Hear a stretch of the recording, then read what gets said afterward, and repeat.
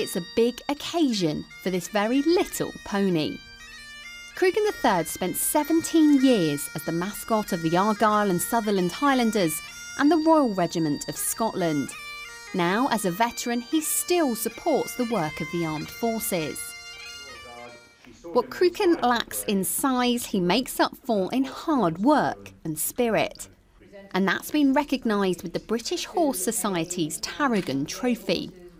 It's awarded to the horse or pony personality of the year.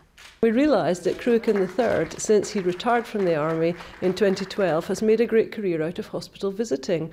And he's also become a great favourite with the Erskine and the Chas Children's Hospice. And he just was, you know, there doing his almost his civilian duties after his years of service to the army. And he just, it just was a no-brainer for us because he is a pony that has given so much back through his job and then so much back since he was retired.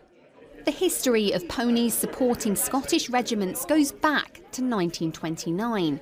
But Cruachan III was known as Her Majesty the Queen's favourite. He was an annual fixture at Balmoral and the Royal Edinburgh Military Tattoo until he retired in 2012. He's an excellent Shetland pony, he really is. Uh, he's more like a puppy dog than a Shetland. Shetlands can be notorious uh, for just having a mind of their own and doing their own thing.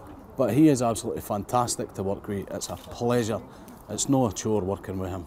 It's like having your dog and you've been away working away and you see him again. It's, it brings memories back and happiness, good memories that he's getting award today.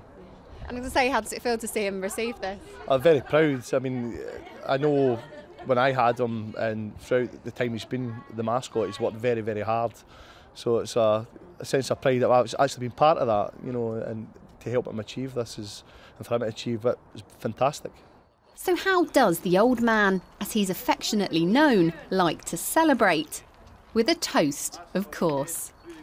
After 17 years of loyal service, Cruachan III has now been recognised for all of his hard work and his continued work as a veteran pony with the Royal Regiment of Scotland. His successor, Cruachan IV, is well into his role, continuing to raise the profile of the Army in Scotland for years to come. Ali Gibson, Forces News, Edinburgh.